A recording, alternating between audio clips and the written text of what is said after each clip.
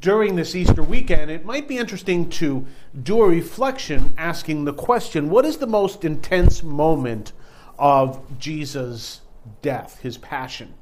Now, we can say the most intense moment of the weekend is, of course, the resurrection. But what's the most intense moment before that? Now, some people might say when he is being nailed to the cross.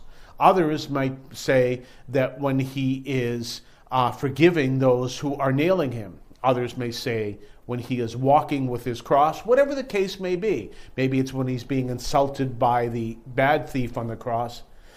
There are many moments that one can reflect upon during this time.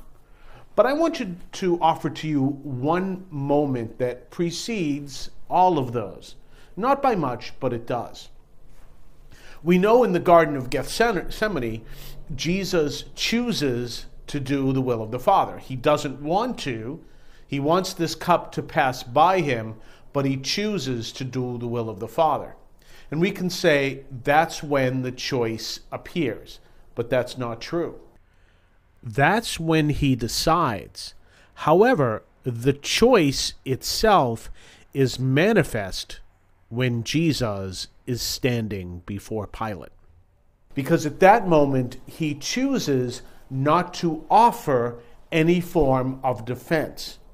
And by doing so, he makes it clear when he says, I could call legions of angels right now, but he, he says he doesn't, and that's one of the very few things he says, because it is his choice to let all of this happen. In a sense, Jesus is in complete control of the situation and allows everything to happen for the salvation of those who choose to be uh, saved by him. So it's a powerful moment, and it's a bloodless moment too. But it's at that point that the choice he makes in the garden is manifested by his choice not to defend himself. Clearly, he could have even turned around and said, Do I look like the king of the Jews? And Pilate would say, Well, I guess you don't. But he doesn't. He doesn't offer any kind of a defense. That's where it manifests itself. And everything that happens after that begins really at that moment. We know it actually begins a long time, it begins when it's choice to be incarnated, it begins in the garden, but it manifests itself right then and there. And that powerful moment is what leads us to eternal life, because everything that happens after that is the result of the choice that manifested itself then. One of the most powerful things to keep in mind is, and the saints so often teach about this, is when we reflect on what Jesus suffered, he suffered it, as we see in that choice, for one simple reason it was the only way to bring salvation to humanity. There was no other option.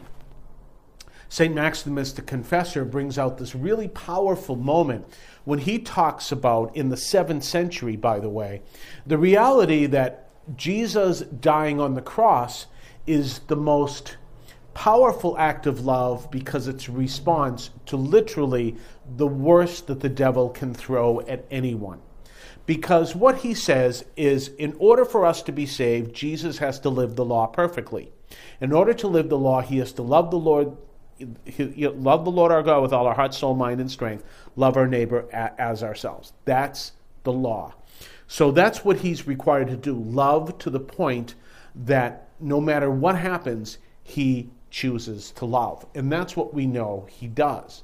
And so everything we see in the cross, which we just discussed, he chose to go through, is the devil trying to get him not to love for so much as a nanosecond, which is the kind of time that computers work on. It's like nine, it's nine zeros. It's decimal point nine zeros. One is a nanosecond.